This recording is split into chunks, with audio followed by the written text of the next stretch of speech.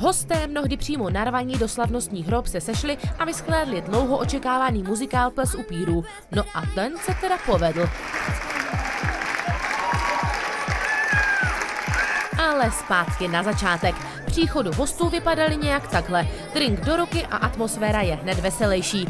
Někdo přišel sám a jiní zase v páru. A ejhle, Gregorová se zajíčkem, Pouva s partnerkou, ten, kdo se tam pro tento večer hodil přímo skvěle, upír, který provětral celou rodinu, no a další a další. Uvítačky máme za sebou a hurá do křesílek. Famózní, famózní, famózní.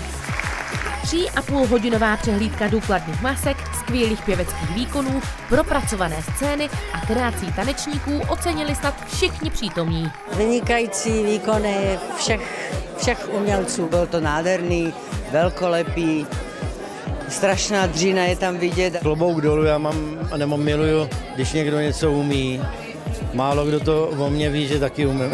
Já myslím, že jsme všichni se snažili podat ty nejlepší výkony, užívali jsme si to, bylo výborný publikum. No, Pavlíkovi se tam zasekla bota pod Jo, to je pravda, scénou, ano, ano, Ale ano. protože to je vynikající herec, tak v rámci svý role prostě táhl tu botu, nasadil a pokračoval Já jsem si prostě řekl, že bez té boty neodejdu.